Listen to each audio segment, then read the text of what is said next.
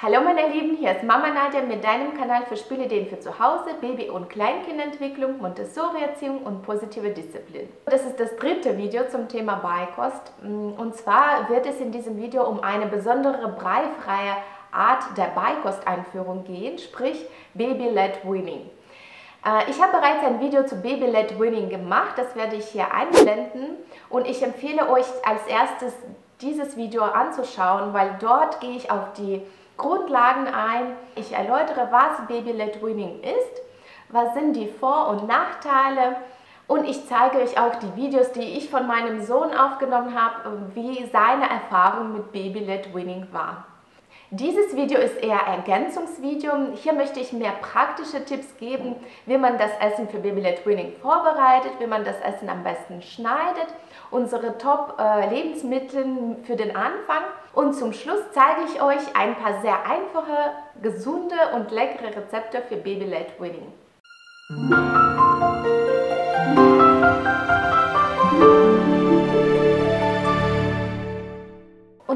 Loslegen, möchte ich noch kurz erwähnen, ich bin keine Ernährungsexpertin und das hier ist äh, ein reines informatives Video. Wenn du mehr über Baby-led Winning erfahren möchtest, wenn du tiefere Informationen bekommen möchtest, würde ich auf jeden Fall empfehlen, selber Recherche anzustellen. Äh, ich würde empfehlen, vielleicht ein paar Bücher zu Baby-led Winning zu lesen und ähm, auf jeden Fall nochmal das Ganze mit deinem Kinderarzt besprechen. Ich werde noch in der Infobox ein Buch verlinken, was ich ganz äh, praktisch fand und was ziemlich hilfreich ist, was Baby-led Weaning angeht. Also wenn du jetzt bereits siehst, dein Baby ist bereit, du möchtest mit der Beikost starten und du hast für dich Baby-led Weaning ausgesucht aus die Beikost-Einführungsart, also die breifreie Beikost-Einführungsart, ähm, dann hast du wahrscheinlich die Frage, was biete ich meinem Baby als erstes? Und das hier ist einfach so eine allgemeine Liste mit Lebensmitteln, die man normalerweise oder gewöhnlicherweise dem Baby anbieten würde, wenn man Baby-led Weaning macht.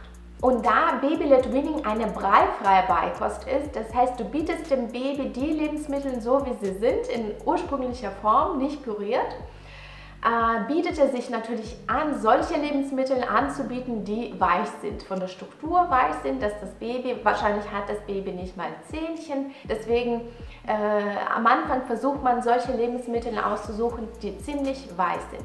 Und ein Klassiker, womit man gerne bei Baby-led Weaning anfängt, ist äh, Avocado.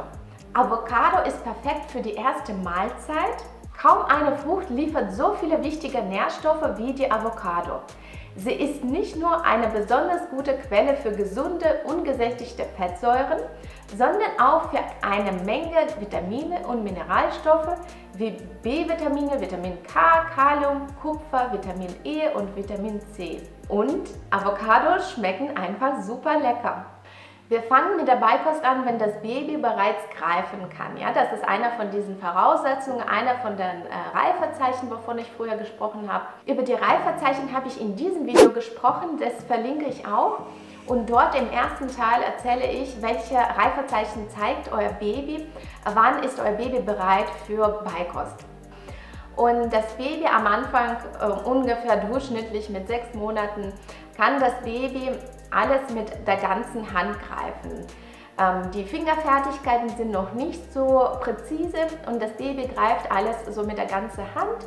Ist es sinnvoll für das Baby, wenn man mit Baby-led Winning anfängt, alles in großen äh, Stücken zu schneiden. Und bei Avocados empfiehlt es sich, Avocado in Spalten zu schneiden, so ein, ein Viertel oder ein Achtel und einen Teil von der Haut dran lassen so dass das Baby das gut in der Hand halten kann.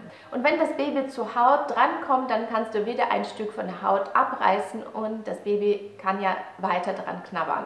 Und zweite Gemüseart, die ich sehr empfehlen würde, ist Süßkartoffeln. Süßkartoffeln sollte man natürlich garen.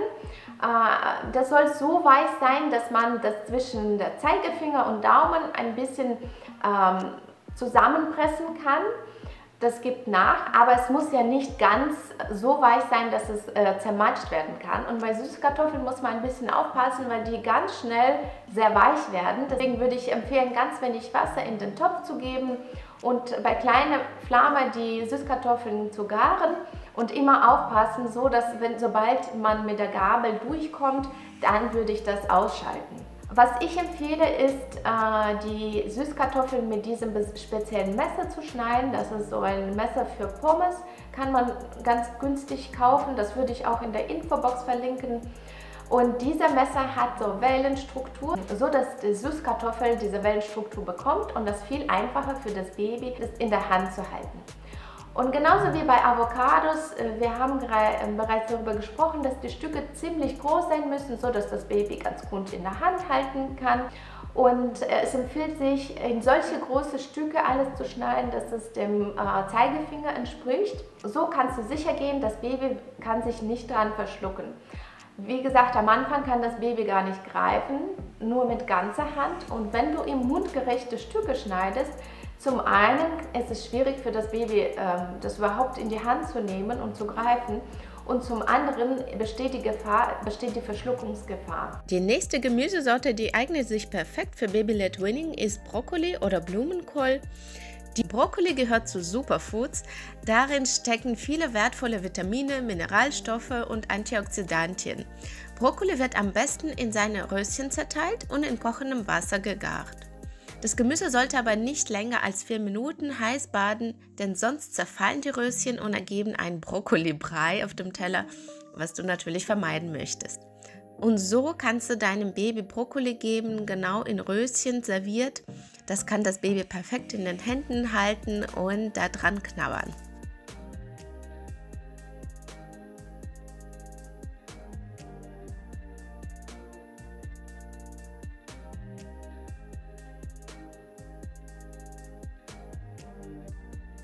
Karotten enthalten Beta-Carotin, was ihre Farbe verrät und die sind super für Baby. Genauso wie Kürbis. Kürbis ist etwas süßlich und ähm, das kommt immer sehr gut bei dem Baby an, weil die Muttermilch, was das Baby bis jetzt getrunken hat, ist ziemlich süß und deswegen passt es ganz gut, wenn man mit, mit solchen süßlichen Gemüsesorten anfängt wie äh, Süßkartoffel, Kürbis oder Karotte. Womit man sonst sehr gerne anfängt, ist Banane, wobei ich würde wahrscheinlich Banane als erstes anbieten. Die sind ziemlich süß, aber die Bananen sind auch einer der ersten Lebensmittel, die man bei Baby-led Winning einführen kann. Und die kann man besonders schälen mm, und schneiden. Äh, die kann man auch so abschneiden und die Schale nur zur Hälfte lösen.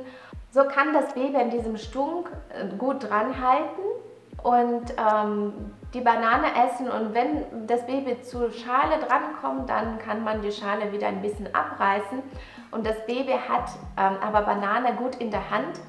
Ähm, ich habe noch eine Methode herausgefunden, indem man äh, die Banane einfach so ähm, in der Mitte, die haben solche, ja man kann die so aufspalten in drei Teile und diese Teile sind auch nicht so glitschig, ähm, als ähm, wenn man die Banane schneidet. Deswegen passt das auch ganz gut und man kann das so dem Baby anbieten. Was bietet sich noch sehr gut an, ist eine sehr weiche, reife Birne. Äh, die Birnen von, man muss natürlich eine reife Birne haben. Wenn die Birnen noch sehr fest sind, dann sind sie natürlich wie Apfel, so von der Härte her. Deswegen kann man die einfach draußen auf dem Tisch äh, vielleicht ein paar Tage stehen lassen, sodass die weicher werden. Wenn du Apfel deinem Baby anbieten möchtest, dann würde ich Apfel am Anfang etwas garen. Vor allem, wenn du am Anfang deiner Baby-Led Winning-Preise bist, würde ich Apfel im Backofen oder im Wasserbad etwas garen, so dass es etwas weicher wird. Wenn dein Baby bereits die ersten Erfahrungen mit den ersten Gemüsesorten und Obstsorten gemacht hat, kannst du zu komplexeren Kohlenhydrate übergehen und vielleicht deinem Baby mal gekochte Paste anbieten oder du bittest deinem Baby Kartoffeln an oder selbstgebackenes Brot und so Schritt für Schritt kannst du neue Lebensmittel einführen. Später kommen äh, Rühreier oder gekochte Eier dazu und zum Schluss würde ich Fleisch anbieten. Also ich würde jetzt nicht Beikost mit Fleisch anfangen, sondern erst sukzessiv, indem dein Baby bereits die ersten Gemüsesorten kennengelernt hat Obst probiert hat und ähm, wie gesagt Brot, Pasta und so weiter, andere Kohlenhydrate probiert hat, dann kann man mit dem Fleisch anfangen und so hat ein Baby bereits die Möglichkeit, ein vollständiges Essen zu bekommen. Wenn du Gemüse einfach ein bisschen gegart hast, kannst du die Gemüse auch mit Öl, Öl beträufeln oder wenn du deinem Baby Avocado gibst, das enthält schon ungesättigte Fettsäuren, die super für dein Baby sind. Also muss man da gucken, wie ausbalanciert die Mahlzeit ist und in welchem Tempo, wie bietest du das deinem Baby an. Ähm, ich würde auf jeden Fall am Anfang nur eine Mahlzeit aussuchen. Das kann Frühstück sein, das kann Mittagessen sein.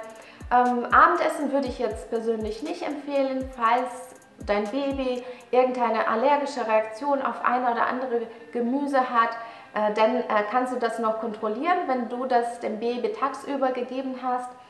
Äh, und ich würde auf jeden Fall nur mit einer Mahlzeit erstmal anfangen und ganz langsam Schritt für Schritt die Gemüse einführen. Und nach so einem Mittagessen mit einem Gemüse, ja, würde ich danach äh, sofort äh, stillen oder Flasche geben, je nachdem, wie du das hast, äh, damit das Baby natürlich nicht hungrig bleibt. Und äh, wie gesagt, das wird am Anfang keine Mahlzeit ersetzen. Ja? Ähm, das wird lange keine Mahlzeit ersetzen. Bei uns war das erst mit, mit acht, neun Monaten, wo, dass die eine Mahlzeit komplett ersetzt wurde. Äh, wobei ich ihn trotzdem nochmal stillen angeboten habe. Also das ist jetzt, äh, wirst du natürlich nach deinem Baby vorgehen. Wenn das Baby noch hungrig hat, dann, äh, wenn du ihm Flasche gibst oder Stillen anbietest, dann wird es das natürlich nehmen, wenn es noch Hunger, Hunger hat. Sobald man mit Beikost anfängt, sollte man auch mit Wasser, mit, mit, mit Getränken anfangen. Und ähm, man soll auf jeden Fall stilles Wasser anbieten oder du kannst auch ungesüßten Tee anbieten. Ähm, ja, die Säfte würde ich jetzt nicht empfehlen, das ist auch gar nicht so gut. Oder wenn du Saft äh, deinem Baby geben möchtest, würde ich das sehr verdünnen mit dem Wasser, dass es jetzt nicht so süß ist. Ich hoffe, das Video war hilfreich und jetzt bist du mit Informationen ausgerüstet, wie genau du mit Baby Twinning anfangen kannst. Falls du weitere Fragen, Anregungen, äh, sonstiges Anliegen hast, dann schreibe das natürlich alles in den Kommentaren. Wie ich bereits erwähnt habe, empfehle ich nochmal das Buch zu lesen oder vielleicht mit deinem Kinderarzt zu sprechen ähm, wenn du weiteres Bedenken hast. Ich hoffe, wir sehen uns in dem nächsten Video. Bis dahin wünsche ich dir alles Gute und bleib gesund. Tschüss!